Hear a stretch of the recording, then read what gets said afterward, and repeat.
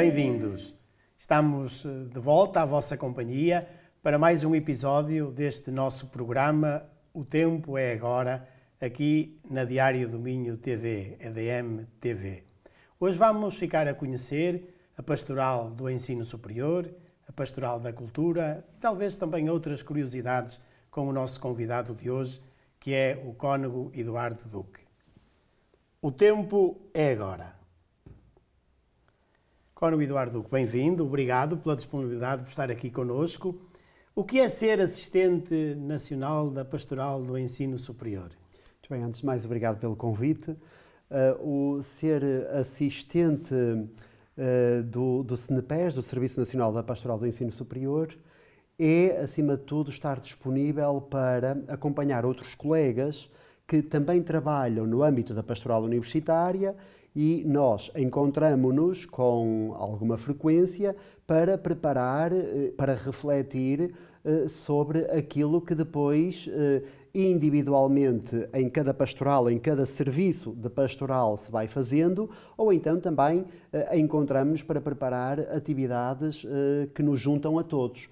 Não é? Como é o encontro de professores universitários, de investigadores, de colaboradores eh, e de universitários. Isto é, nós temos, um, temos anualmente ou um encontro de alunos, de alunos universitários, ou, ou um encontro de professores, investigadores e colaboradores. Este ano vamos ter precisamente o encontro de professores. E ser. A minha missão é exatamente esta, um bocadinho de eh, coordenar, de, de, coordenar esta missão, estar com os colegas, ouvi-los, apoiá-los naquilo que eles acharem por bem, dar ânimo para que não se desanime, até porque este serviço de pastoral do ensino superior é um serviço que tem que estar, que, te, que temos que estar sempre profundamente criativos, a pensar em novas dinâmicas, a pensar o que é que nós podemos fazer para eh, estarmos eh, junto de universitários e de professores, mas sempre com o rosto renovado. No fundo, é isso. A nossa missão é sermos igreja nas universidades. Que tipo de atividades têm acontecido nestes anos? Há quantos anos és responsável eu, ou, ou, assistente deste setor? Sim, eu sou responsável. Eh, é uma história muito engraçada, porque então. estou, estamos no uh, terceiro uh, triênio, ou seja, são três anos, três anos, e agora estamos nos últimos três anos. Esperamos que sejam os últimos três anos. E é curioso porque no final do segundo triênio, Uh, eu despedi-me de todos os colegas, uh, quem nos acompanha é o Sr. Dom Francisco, uh, e estávamos todos, uns cerca de 40 pessoas ou coisa do género, e hum, despedi-me, agradeci profundamente o empenho de toda a gente, dos sacerdotes, de, das equipas que acompanham uh, os sacerdotes e também do Sr. Dom Francisco uh, por todo o apoio que ele nos tem dado. Uh, Despedi-me então, na, na, formalmente na reunião, e passado um mês e meio, coisa do género, recebo um telefonema a dizer que uh, queriam falar com, comigo da Conferência Episcopal Portuguesa.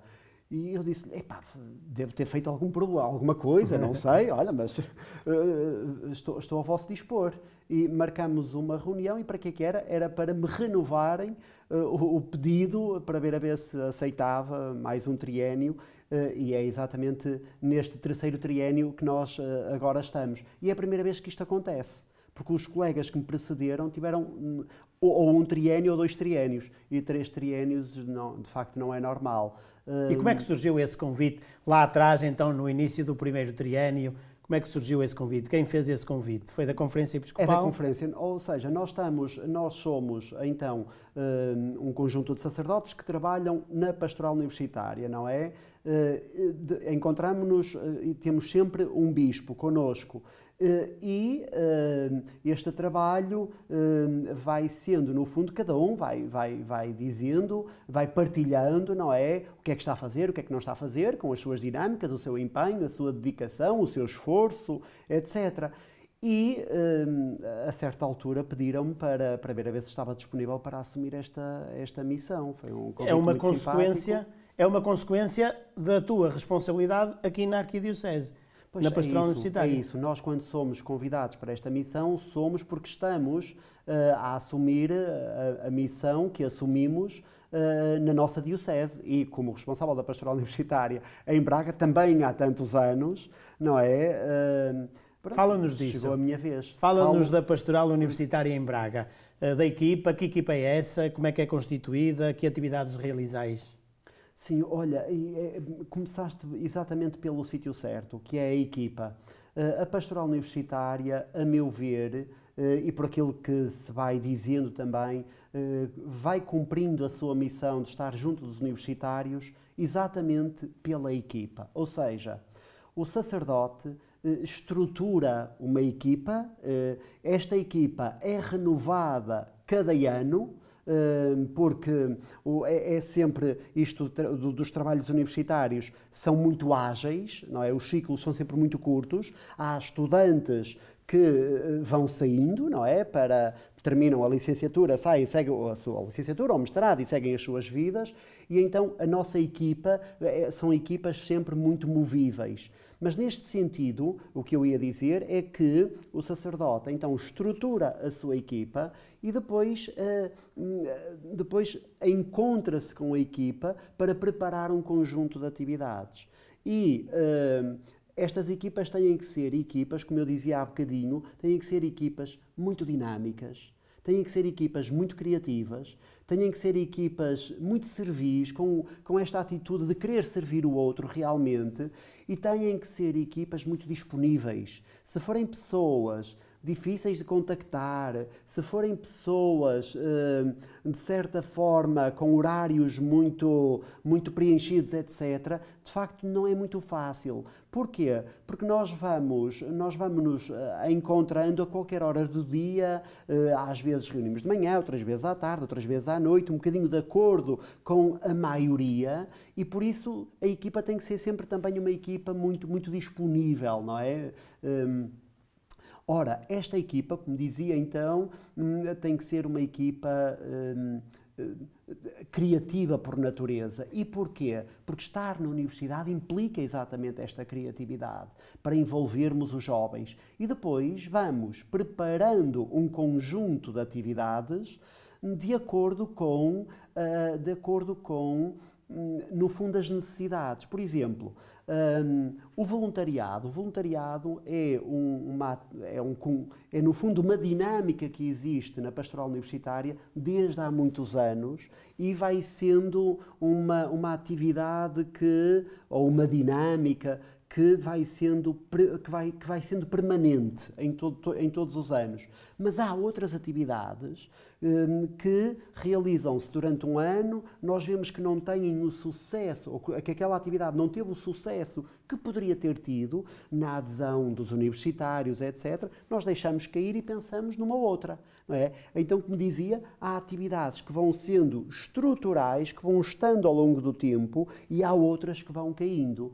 Hum, que tipo de atividades é que nós fazemos? Antes disso, uh, sim, porque força, força. fiquei curioso, explica-nos como é o voluntariado, essa, essa estrutura de dinâmica de voluntariado que perpassa da, da pastoral universitária, como é que funciona? Se algum jovem universitário que nos está a escutar, que porventura ainda não ouviu falar, uh, como é que pode participar, por exemplo, nessa dinâmica de voluntariado? Boa. Um, o voluntariado, então, estrutura-se de diferentes formas. Nós temos voluntariados com idosos, eh, temos voluntariados com demências, com toxicodependências e com crianças. É? Ou seja, dinâmicas diversas. Nós, neste momento, temos cerca de 100 universitários a fazer voluntariado. Uh, se, para fazer voluntariado na pastoral universitária é rigoroso. Não é, eh, eu não faço voluntariado uh, hoje e amanhã falto. Não, a partir do momento uh, que assumo a responsabilidade de fazer voluntariado, depois o jovem é, com, é confrontado com um horário onde vê as suas disponibilidades de acordo com a sua vida académica e depois assume aquela responsabilidade durante aquele semestre. Então, durante aquele semestre, ele faz voluntariado, por exemplo, junto dos idosos. Nós temos uma parceria com a PSP e aquele jovem ou aqueles jovens acompanham determinados idosos. Idosos que habitualmente são solitários, eh, têm uma vida hum, sem família, famílias desestruturadas, etc. E então temos aquele voluntário, aquele universitário que durante aquele tempo, eh, durante, todas as semanas, durante o primeiro semestre ou o segundo semestre, ou o ano todo, não é, se compromete a acompanhar aquele idoso. É? E o mesmo depois acontece com as crianças, onde temos regimes de tutoria universitários que acompanham, eh, que acompanham crianças institucionalizadas em instituições eh, que vão, no fundo, eh, no fundo, animar a estudar melhor, dar-lhe força, mostrar que é possível sair algumas vezes, desbloquear, sair de alguma situação de bloqueio que aquela criança possa estar, está desmotivada, não consegue estudar porque porque uh, tem problemas na escola, e então está ali aquele universitário, uma, duas vezes por semana, consoante os horários, como nós dissemos há bocadinho, exatamente a dar-lhe força. Ou então, nas demências, também temos um, uma equipa, não é, de universitários, a trabalhar na Casa de Saúde Bom Jesus, uh, a trabalhar com pessoas que de, de, maior grau ou menor grau têm alguma perturbação. E depois temos também, como dizia, uma equipa de universitários a trabalhar com, na, na área eh, das toxicodependências, no Projeto Homem. Ehm, e no Projeto Homem temos, temos duas valências, não é? Naqueles que estão a recuperar eh, e naqueles que ainda estão em tratamento. Ou seja, e estas duas valências, eh, estas duas equipas de universitários, no fundo, têm trabalhos diferentes de acordo com aquilo que lhes é pedido nas instituições. Então eu dizia, para recuperar esta ideia que eu creio que é muito importante, todas as pessoas podem fazer voluntariado, todas as pessoas, todos os universitários, eh, podem fazer voluntariado no, no projeto de voluntariado da pastoral universitária mas é rigoroso. Eh, porque além desta missão, além deles fazerem voluntariado, depois existem por mês duas reuniões. Cada universitário tem que assumir esta responsabilidade. E duas reuniões. Primeiro, uma formação, é? Uma reunião que é formação, e para essa formação convidamos sempre alguém que vem de fora falar aos universitários, ajudá-los, no fundo, a perceber a dinâmica do voluntariado, a perceber a dinâmica da entrega aos outros, do serviço, perceber com maior profundidade isto, mas depois também tem uma reunião com o coordenador do voluntariado para, em comunidade, ou seja, em grupo que fazem aquele voluntariado, partilharem as dificuldades, partilharem as experiências, partilhar aquilo que está a correr bem, porque é aqui que eu vejo o grande, o, o, o, grande caminho da Igreja. É não desamparar os universitários, é estar com eles. E é estar com eles em grupo pequenino, e o coordenador é, o coordenador é sempre muito bem escolhido, não é? Que depois este coordenador integra a equipa dos coordenadores da pastoral universitária. É muito bem escolhido e por outro lado, também esta formação mensal que lhe ajuda, eh, no fundo, a, ganhar eh, mais humanidade, a ganhar mais altura. Esta, para mim, é a grande missão da Igreja junto à Universidade, a ganhar, eh, ajudar os universitários a ganhar uma nova vida. Nós sabemos que o mundo académico, o mundo universitário, preocupa-se muito com a transmissão de conteúdos científicos, é? mas muitas vezes não trabalha a humanitude, a humanidade da pessoa. E eu creio que aqui a pastoral universitária pode ajudar aquele jovem a crescer. Tem é? essa missão. Tem esta missão. Isso é, só isso, o voluntariado é já um programa extenso de ação da pastoral universitária. Mas há mais, porque eu vou acompanhando, vocês vão publicando uh, atividades, há mais atividades. Conta-nos mais não. algumas dessas pois, atividades. Esta é uma dinâmica, de facto, uh, como eu dizia, uh, transversal, que vai sendo transversal a todos os anos em que eu estou à frente da pastoral universitária. mas depois existe também, entre, entre várias atividades, uma que eu creio que tem sido extraordinária e tem dado frutos lindíssimos, que é hum, o ir em missão para a África, não é? Hum, é, é, um, é um outro também há, Também há isso? Também é, há isso é. na pastoral universitária? Há, há, desde há muitos anos. Explica-nos. É, desde há muitos anos. Então, e tem dado frutos estupendos. Aqueles universitários, e são muitos, não é? Que se inscrevem no projeto Sementes, e o, cujo projeto visa precisamente depois de uma caminhada longa, o, o, o término é exatamente passar um mês, um mês e meio em missão num país da África, que habitualmente temos ido para ou para Cabo Verde, para a Ilha do Maio, para a Ilha do Fogo, para a Ilha de Santiago, para a capital, ou então para a Guiné-Bissau, não é? Hum, hum, e Porquê é que eu digo que isto tem sido muito transformador? Porque o projeto, eh, as pessoas eh, inscrevem-se e depois o projeto é semanal, as reuniões são semanais. E há muitos grupos por aí que vão em missão para a África, mas têm uma reunião mês a mês, uma reunião dois em dois meses. É muito aquilo que se vai fazendo por aí. A pastoral universitária tem este acompanhamento semanal, ou seja, à segunda-feira, à noite, desde há muitos anos, é o dia dos grupos que se preparam para ir para a África e é levado com uma profundidade tremenda. Ou seja, imagina, escrevem sempre um número de e muitos jovens, não é, que se inscrevem e depois são selecionados uh, uns 30, 40, às vezes menos, às vezes 20, consoante, isto é, o número que vai não importa, porque só vão aqueles que realmente conseguirem percorrer este caminho, que é um caminho de muita relação, de muita abertura, é um caminho de grande profundidade do, do, conhecimento da própria pessoa, do conhecimento do outro, do conhecimento do meio. Depois, claro, há sempre uma equipa um bocadinho mais voltada para a logística, para conseguir, um, para conseguir angariar alguns fundos, para tornar a viagem mais barata,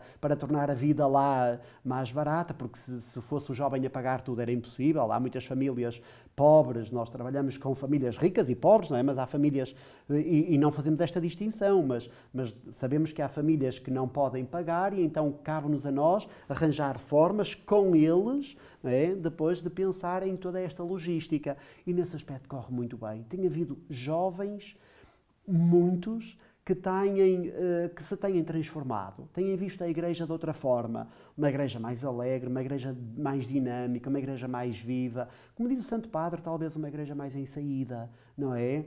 E uma e igreja é um dos, mais santa também. É um dos motes da pastoral universitária, não é? Estar junto deles, estar em saída, é? O, o, a tua missão é estar junto dos jovens universitários, tu e, e, o resto da equipa. É, eu penso sempre na equipa, penso sempre na equipa. O, São muitos elementos da equipa, mais ou menos assim. Devemos, devemos ser uns 15, talvez. É, cada um com uma missão muito bem definida, não é? Eh, então temos estes, o, temos as pessoas que trabalham nos voluntariados, no voluntariado local que eu expliquei há bocadinho nas, nas suas várias dimensões, depois neste voluntariado, nesta missão, nesta saída internacional, não é? E depois temos um outro projeto que poderíamos dizer que é um projeto hum, que já é um bocadinho mais para aqueles que já fizeram um caminho conosco e que depois querem um projeto de maior proximidade de Cristo, com Cristo, não é? Uma experiência mais profunda, que é aquele projeto que nós chamamos Ictus. É? Um projeto que, no seu término, tem também uma caminhada. Nós procuramos sempre que todos os nossos projetos tenham uma caminhada de relação.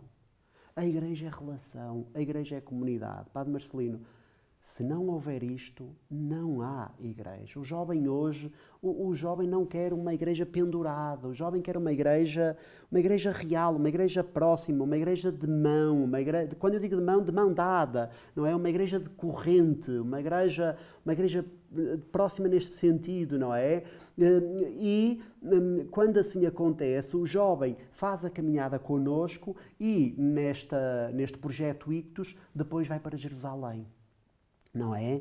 E, e porquê? Porque é, é, um, é, um, caminho, então nós percebemos que aquele jovem já fez um caminho inicialmente conosco, percebemos que há profundidade e percebemos que há uma vontade de querer fazer uma experiência mais profunda com Cristo, e então estas reuniões são exatamente são, são reuniões da palavra, não é? Sobre a palavra, reuniões orantes, não é? é, é são, é, são, quase grupos de oração, não é? E que depois uh, se, se vão aprofundando e eh, em Jerusalém, rezamos a partir, no fundo, uh, do, a partir daquilo que vamos vendo, dos vários lugares por onde Cristo passou. E reza-se a partir dos próprios lugares. Esta ideia de rezamos pela palavra e agora rezamos quase invocando os sentidos. Esta igreja que envolve o corpo e que reza com o corpo, porque é o corpo quem vê, é o corpo quem vai. Hum, durante muito tempo, isto dava aqui para, para, para muito tempo, não é? Durante muito tempo nós preocupámos-nos com uma igreja muito uh, somente muito preocupada com a dimensão espiritual e depois por outro lado houve uma igreja que se preocupou muito com a dimensão talvez mais racional não é mas hoje Eu até em vez de espiritual dizia devocional, se calhar. Muito, muito é? devocional. E depois intelectual. É verdade, boa, é. boa. Creio que, esse, creio que essa dicotomia de facto está muito bonita. Mas esquecemos muito das emoções. E, e, e, hoje é o tempo das emoções. E nós, e os universitários, levam isto muito a sério. E o jovem, então, o, então precisa o, o jovem, disso. é nesse sentido, não é? Leva isto muito a sério. E se nós nós temos que envolver o próprio corpo nisto, não é? Eh, temos que ter dinâmicas de alegria, dinâmicas de compromisso, mas, mas, mas tudo isto envolve emoções. E então o jovem devagarinho vai ficando agarrado, vai se sentindo confortável no ambiente da pastoral universitária, vai percebendo que, que vai criando ali amigos verdadeiros. Hum, uma das coisas é muito curioso quando nós dizemos, é? neste último livro que eu publiquei, eh, concluímos que houve uma perda eh, de, na prática religiosa, mas para isso não foi novidade nenhuma para mim. É? Enquanto investigador, isso não foi novidade. Para mim, a novidade foi perceber que quando se pergunta aos jovens, perguntou-se a todas as pessoas, não é? A partir do European Value Survey, deste inquérito internacional. Mas se destacarmos só os jovens, nós, e se lhes perguntar qual é a importância que atribui a Deus, percebemos que o jovem atribui muita importância a Deus que é muito curioso. Ou seja, por um lado, diminui a prática religiosa, mas a importância atribuída a Deus e entre 2008 e 2020, porque foi quando, é, quando este inquérito foi aplicado e saiu em, 2000, eh, em 2022, não é? Isto é, 2008, esta primeira versão do inquérito, foi aplicada depois em 2020 e saiu a público internacionalmente em 2022.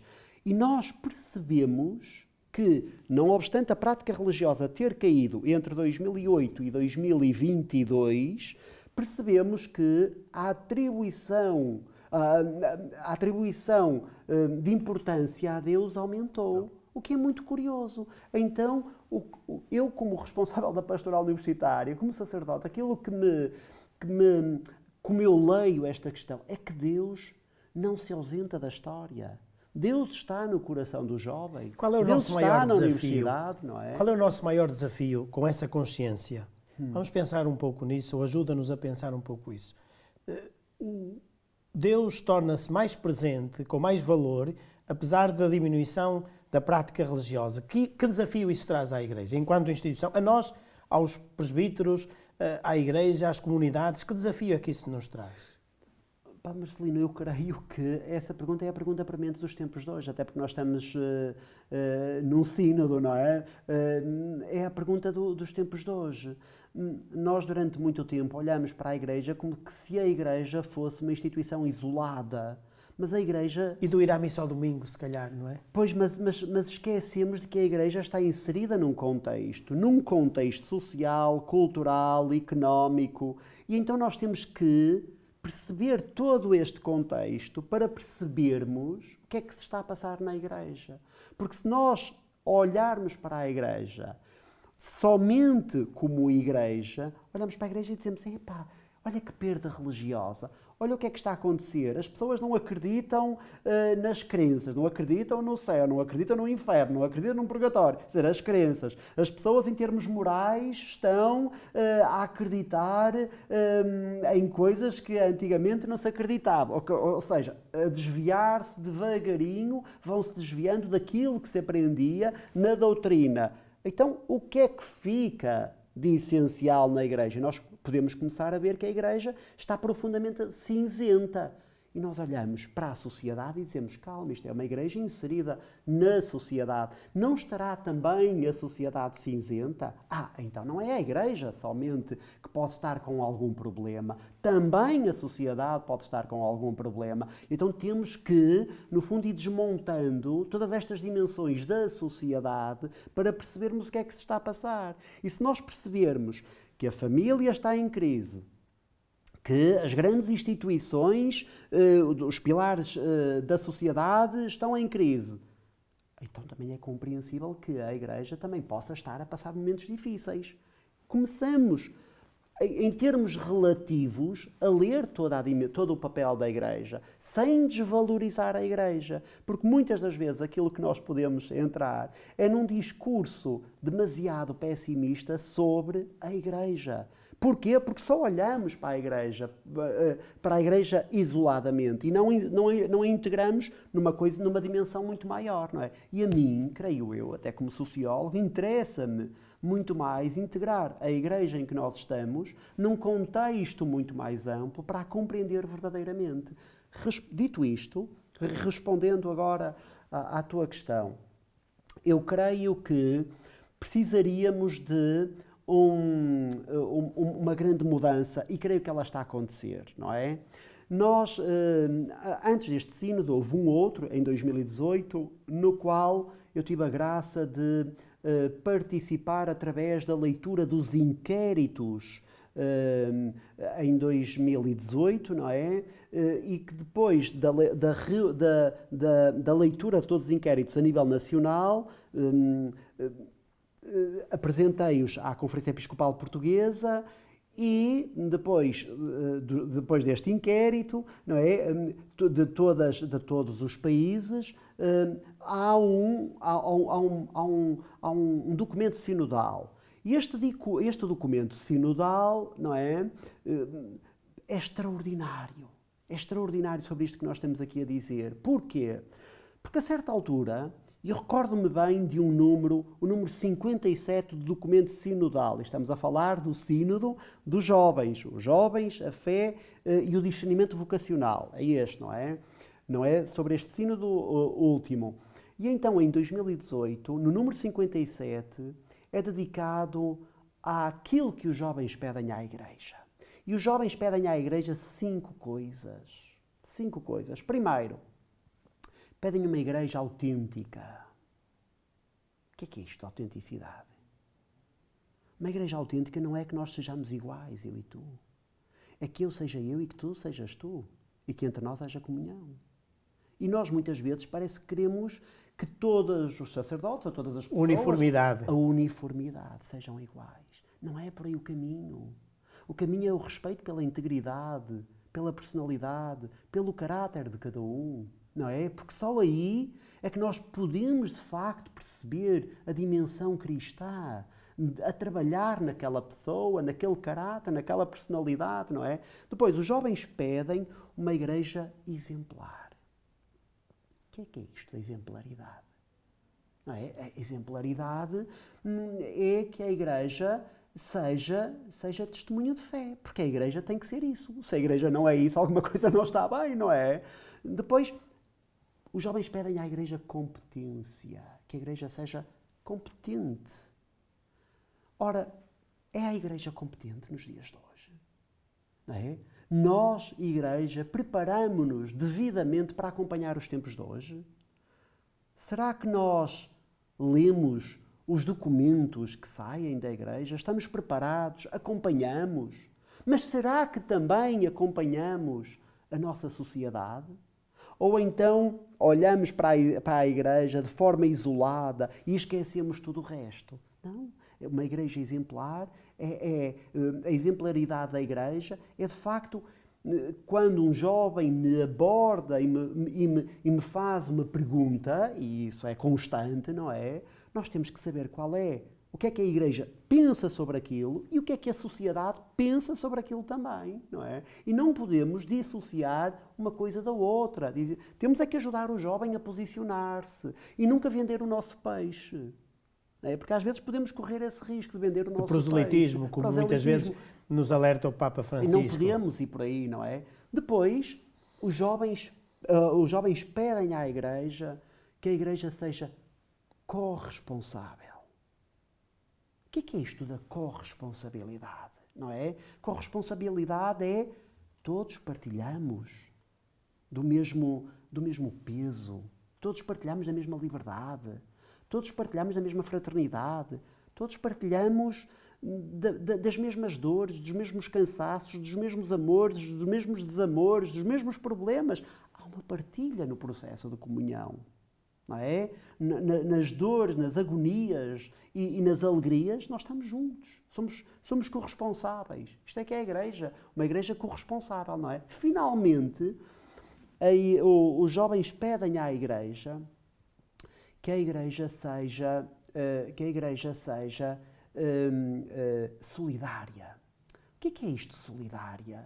Que a igreja seja, podíamos dizer até uma palavra que nós conhecemos bem, não é? Que a igreja seja fraterna. A palavra que eles utilizam é a palavra solidária, de facto. Que a igreja, porque os jovens são muito sensíveis a esta questão da solidariedade. Ora, temos aqui a meu ver, não é? Uma gramática para conjugar a partir destas cinco palavras, que, são, que é aquilo que os jovens pedem à Igreja. E a minha questão é: será que nós nos confrontamos com aquilo que os jovens pedem à Igreja e depois fazemos com, com eles caminho para lhes darmos precisamente isto? Para sermos isto com eles? Porque a Igreja, eles também são Igreja. Não é? A igreja, a igreja somos, somos, é o povo de Deus, somos todos. E esse é o trabalho que procurais fazer com a pastoral universitária. Este é o trabalho. Tendo presente esses, esses, essas inquietações dos jovens à igreja e os jovens com a igreja e desenvolveis uma série de atividades. Eh, nós vamos nos aproximando do final, porque de facto daríamos para muita mais conversa, mas de todos estes anos, diz-nos duas, três atividades que te marcaram profundamente e que ainda não tenhas falado sobre elas. Olha, talvez os grupos de oração. Temos tido sempre grupos de oração, gente que vai estando connosco, gente que aparece, ora, ora numas alturas eh, Onde é que isso com mais acontece? gente, com menos gente. Onde é que se desenvolvem esses grupos de oração? Com menos gente. Uma outra dinâmica na pastoral universitária, que norma, dois em dois meses, que vai acontecendo desde sempre, desde o início, desde que eu estou na pastoral universitária, desde há 15 anos, não é? Que é, um, são as atividades outdoor, são as caminhadas. Nós, de dois em dois meses, temos uma caminhada pelo Jerez,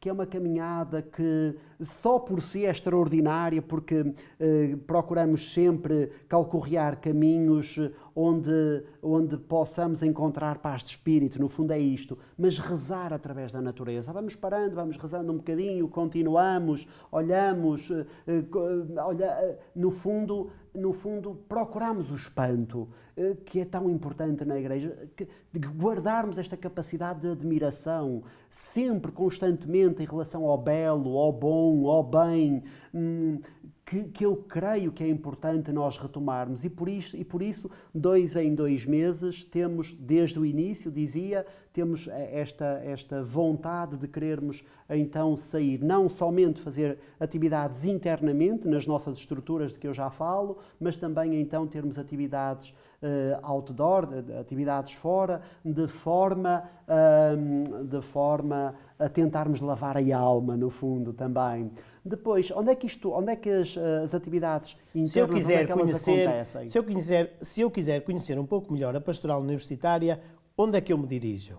Sim, muito fácil. É exatamente num espaço contíguo à Universidade do Minho, não é? Que fica uh, no antigo hospital uh, psiquiátrico. Uh, o, é curioso, o antigo hospital, o antigo hospital psiquiátrico, a ala de psiquiatria do Hospital de Braga deu há 15 anos atrás espaço para uma casa muito bonita que se chama Centro Pastoral Universitário, que foi eh, promovido este espaço pelo Sr. Dom Jorge, pelo Sr. Arcebispo eh, de então, que muito se entregou a este projeto, muito o pensou, estruturou desde muito cedo e que nós lhe devemos muitíssimo. A pastoral universitária deve muitíssimo, de facto, ao São Jorge por todo o empenho que ele pôs e pela sensibilidade que ele deixou naquela casa. Por isso, o espaço é um espaço contíguo à Universidade do Minho, estamos mesmo ao lado, não é? Não pertence à Universidade do Minho, mas tem porta aberta para a Universidade do Minho. E as relações são tão boas com o senhor reitor e com os senhores reitores que, que, da Universidade do Minho, quando eu me refiro aos senhores reitores, isto é, aos, aos, do passado e ao do tempo presente, as relações são tão boas que eles nos, permitem, nos permitiram abrir uma porta para entre a nossa casa e a Universidade do Minho creio que, é, creio que é caso único, não é? Porque eh, não habitualmente, como nós sabemos, eh, vivemos os tempos em que as instituições eh, se fecham muito em relação à, à, à, dimensão religiosa e a pastoral universitária tem tido a feliz sorte de ser muito bem acolhida no nosso, em Braga, muito bem acolhida pelas universidades. Por isso, a todas as pessoas, a todos os universitários, professores, funcionários, colaboradores, colaboradores das universidades que procurem, eh, que queiram estar connosco, que queiram participar nas tantas, nas tantas atividades que existem e que eu hoje aqui não falei porque o tempo uh, se vai esgotando, não é? que apareçam uh, então no Centro Pastoral Universitário, porque há sempre tempo para conversarmos um bocadinho. É Obrigado, Cónigo Eduardo Duque, mas antes ainda de terminarmos, hum. quem é o Eduardo Duque? Para quem nos acompanha, como é que chegas até aqui? Falas um, de uma forma muito breve o teu hum. percurso, entrada para o seminário, a tua formação. Há pouco referiste, publicaste, tens feito várias publicações, tens feito uma, tens uma formação doutoral em, em Sociologia. Explica-nos assim muito brevemente o teu percurso. Pois olha, talvez o mais importante foi precisamente a ordenação sacerdotal e a partir daí tenho tido a graça de participar uh, em, várias, uh, em várias coisas ligadas, uh, no fundo, à academia, não é? E estou ligado à academia pela, como professor e, e também ligado à academia pela, pela via da, da pastoral universitária, onde me sinto profundamente acolhido e profundamente integrado. O Eduardo Duque é, é uma pessoa que procura todos os dias ser melhor muito imperfeito, mas que procura todos os dias uh, aproximar-se mais de Cristo, todos os dias à procura da santidade, todos os dias uh, ganhar altura para Deus. Uh, e é isso que me move a levar um, a que os universitários também possam que também possam fazer este caminho, este caminho de aproximação um, de Cristo. Por isso, o Eduardo Duque é, é este insatisfeito que procura eh, todos os dias, através do estudo, através do estudo sério, do estudo, do estudo dedicado, eh, porque vou publicando bastante, eh, ir acompanhando os tempos modernos, ir percebendo melhor o que é que a sociedade nos vai pedindo, nos vai exigindo, nos vai oferecendo e ao ler a sociedade e ao ler a Igreja, eh, perceber como é que eh, podemos, no fundo, levar a Igreja à sociedade. Eh, não é? Então, ao perceber bem a, a, sociedade, ao perceber bem a Igreja, como é que ela funciona, uh, fazer esta experiência de Cristo, depois levar com que esta experiência de Cristo seja também uma experiência de Cristo mais generalizada à sociedade. É este o Eduardo Duque. Muito obrigado uma vez mais pela disponibilidade e obrigado a todos vós que nos acompanhais. Até à próxima semana, se Deus quiser.